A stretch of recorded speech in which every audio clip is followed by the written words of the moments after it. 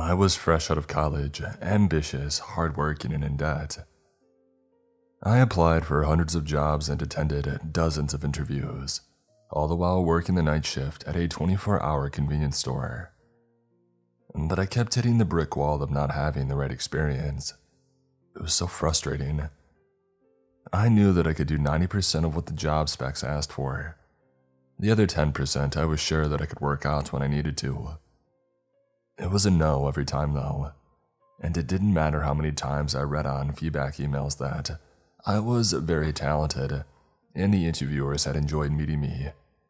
Each and every rejection sucked. I didn't need compliments, I needed a job. So I wasn't feeling very positive as I filled in yet another application form for a job that I had seen online. It wasn't even a proper job. It was for an internship with a research company, unpaid for about three months. For the experience, I told myself as I fought to finish the form. I finally did. Just before I had to leave for work, I pressed send, and then I threw on my coat and hurried out the door. The shelves would not stack themselves.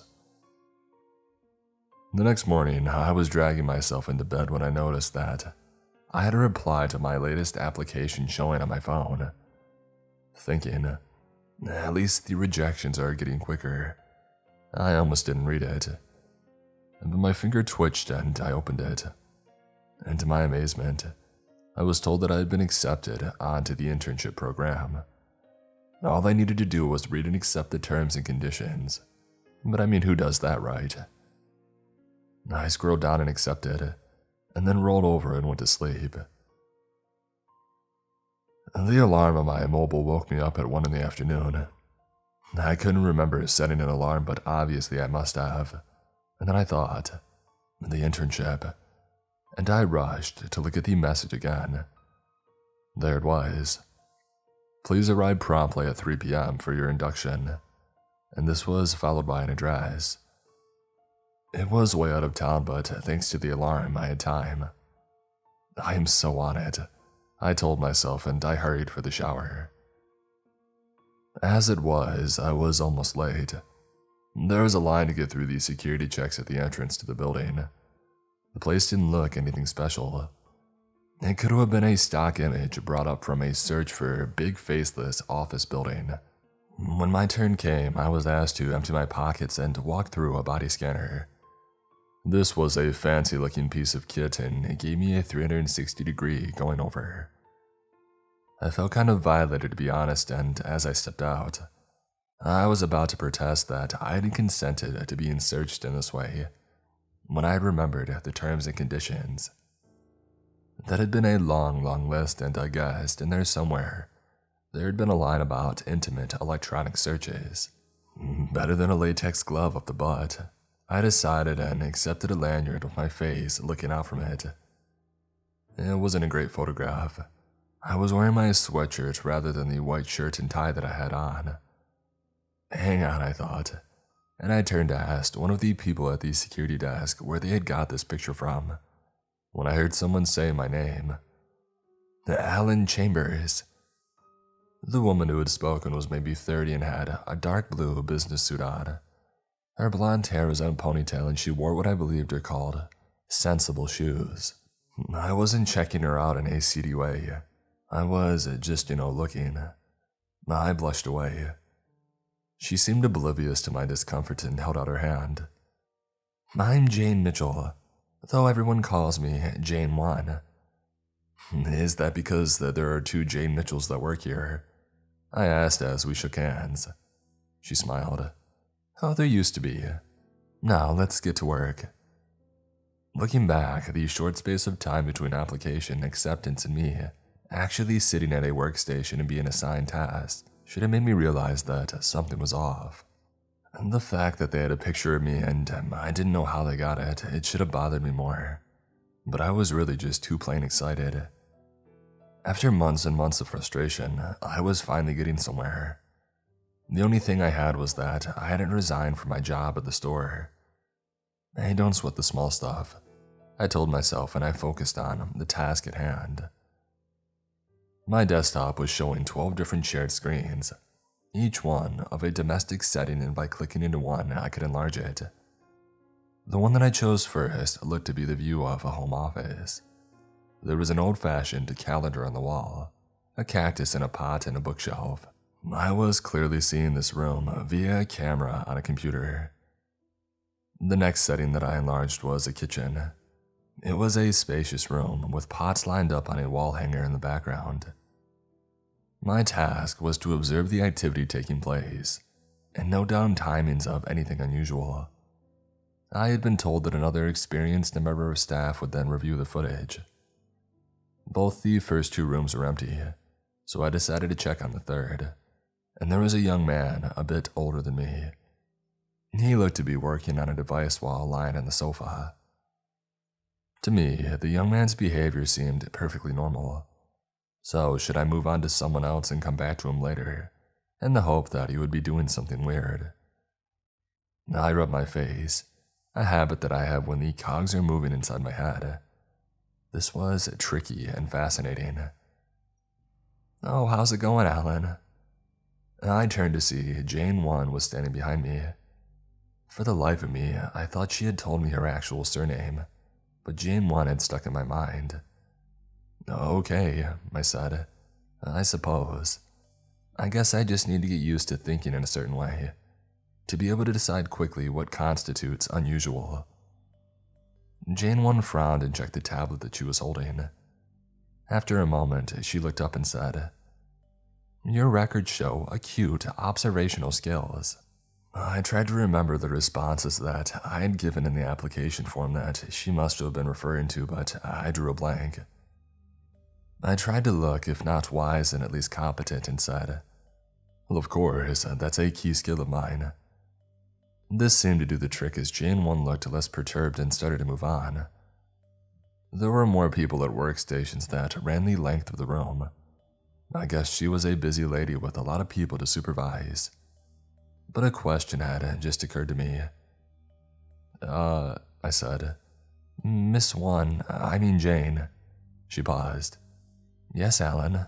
The people I'm observing, well, uh, presumably, they know they're being watched because they must have given us permission. But won't that change their behavior? Jane 1 looked at me like I had just slipped down a couple of rungs on the evolutionary ladder and said, They don't know that they're being observed, Alan. What would be the point if they did? And then she walked away. I rubbed my face. A whole host of new questions were forming but they all got shoved to one side when the woman screamed. It was a small sound coming from my computer, and I could not spot who it was at first glance. And then one of the screens I saw a woman running into a room. I clicked to enlarge and could see that she was in a bedroom. A computer camera that was observing through must have been on a bedside table or a chair. Either way, I had a clear view as the man walked into the room. He was breathing heavily as he approached the woman. She backed away from him, but there was no place to go. And then he hit her, and he kept doing it. I took out my phone to dial 911 but realized I had no idea where this was happening. I stood up, looked around the other workstations. Would anyone else know? I doubted it, but I knew who probably would. Jane, I shouted. Get Jane 1. I don't know if someone called for her or if she heard me herself, but a minute later she made herself over to me.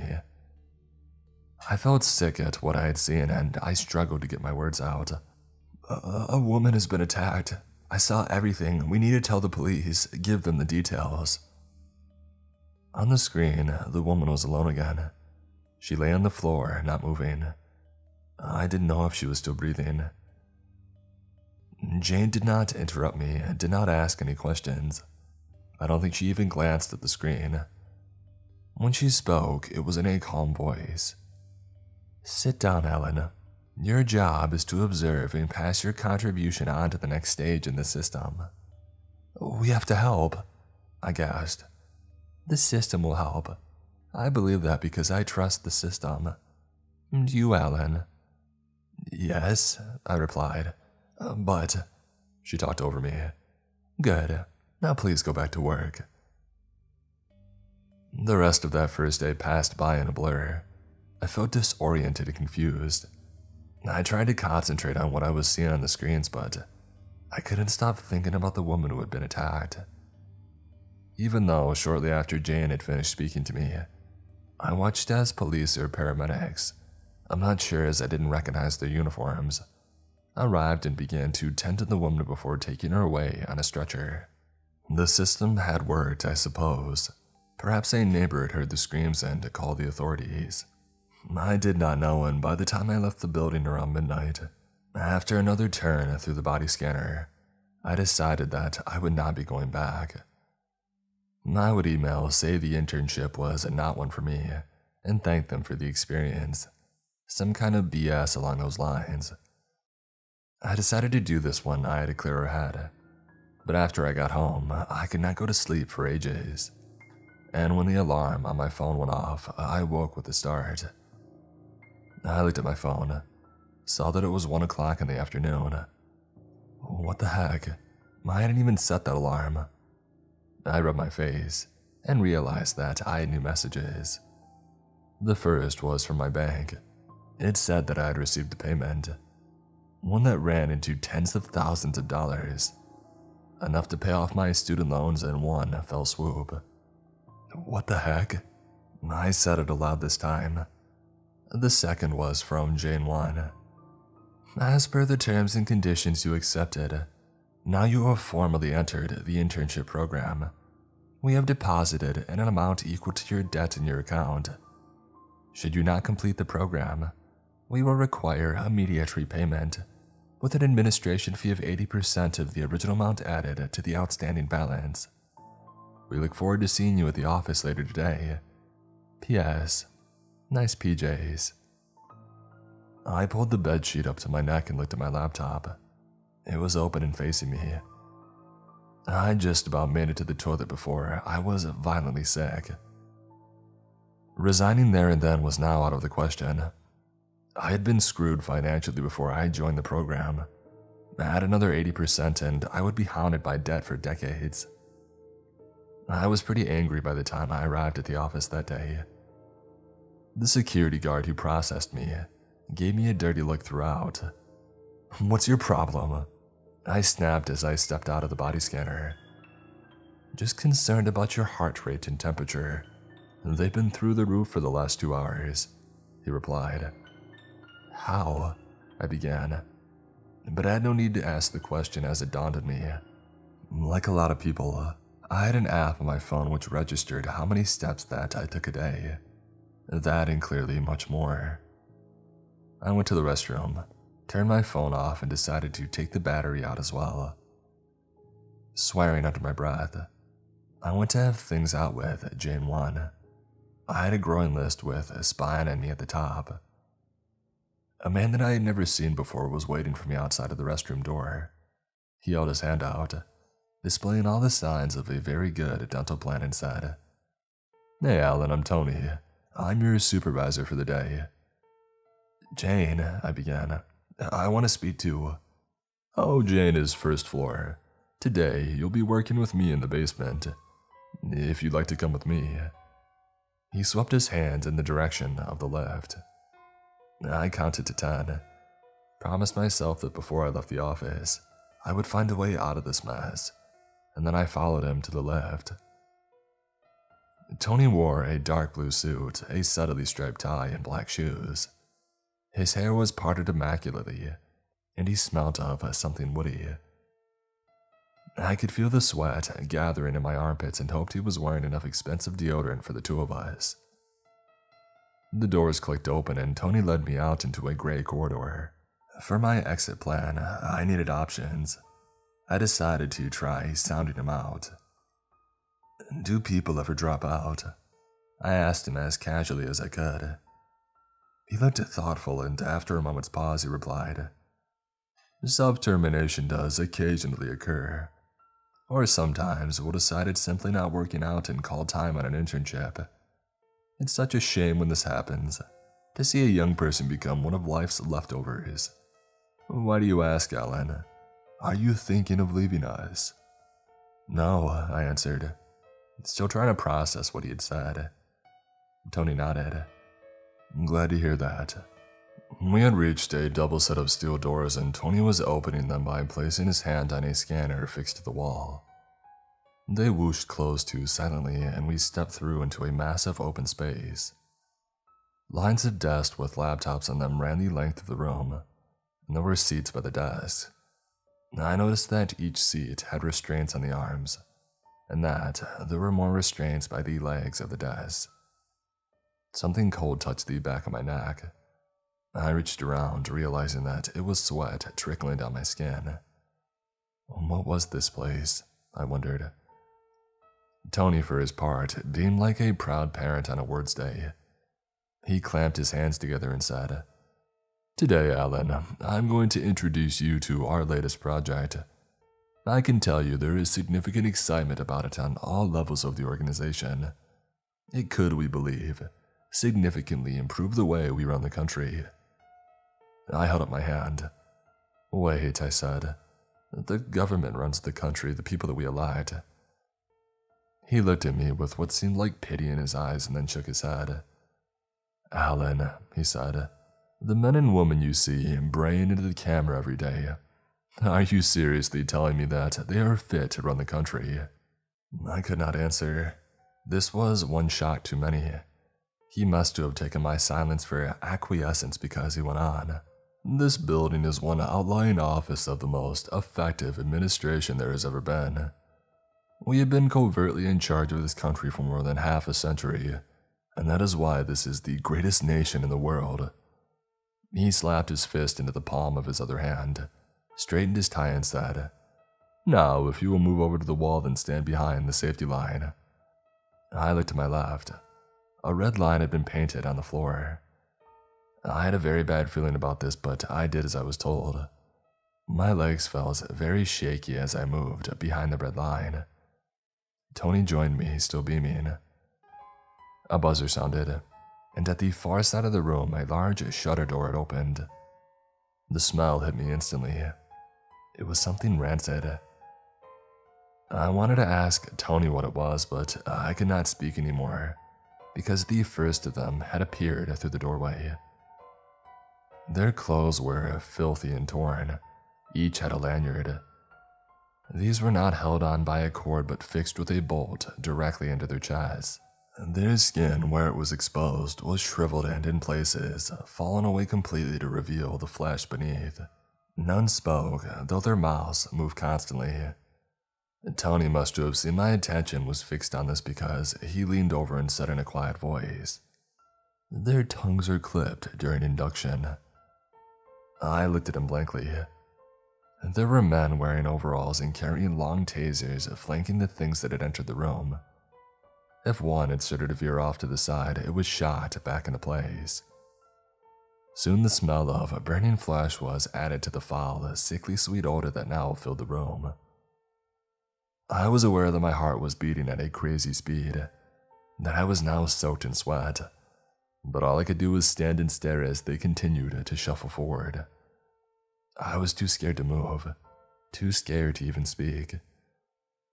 Prodded and shouted at by the men in overalls, the things each sat at a desk.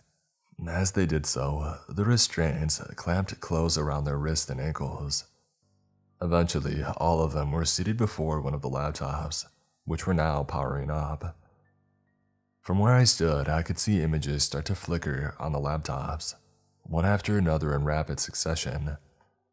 Slowly at first, but then picking up speed, the things started to press the keyboards in front of them, one finger at a time. Soon, they were in sync with the changing images. My god, I realized. They were responding to what they were being shown. The, the, they, I try to say. The, the, they are absolutely amazing, Tony said. You see, Alan, the zombie brain is uncluttered. It doesn't worry about what the other zombies think. It isn't distracted by romantic or sexual feelings. It doesn't have personal ambition or fear. These zombies are ideal. For what? I managed to ask to help us create the algorithms that will guide every aspect of the lives of people all across this country for years to come. I couldn't respond. I stood and stared as waves of fear passed through me. I can't tell you how long the zombies were kept at their task, but when a new buzzer sounded and the restraints clicked open, I felt a glimmer of hope that the worst was over. I had no idea that this waking nightmare was only just beginning. The zombies got slowly to their feet and were herded towards one corner of the room where there were no desks. Once again, a buzzer sounded and a hatch had opened in the ceiling. A glistening slab fell through and then another. It was meat, I realized. Blood dripped from fat chunks of matter now rushing towards the ground. The zombies did not hesitate. Afterwards, uh, Tony took me back to the lift and up to the ground floor. He got me a can of soda from a vending machine and told me that it would help us settle my stomach. And then he said that he would see me tomorrow. I did not go home. I walked the streets for a long time and I'm still walking. It's close to dawn and I've decided that I'm not going back to the office. I'm going off grid to somewhere remote. I have to do this. I have to get away. Tony said that the interns that don't make it become life's leftovers. Seeing the zombies feeding, I understood what he meant. It was not the way that they tore at the meat with their teeth or their drool speckled with bone and gristle hanging from their chins. It was when the meat was released from the hatch in the ceiling and it landed in a pile on the floor. It was glimpsing the movement among uh, the other slabs of meat the hand raised, the terrified face, before these zombies began their feast.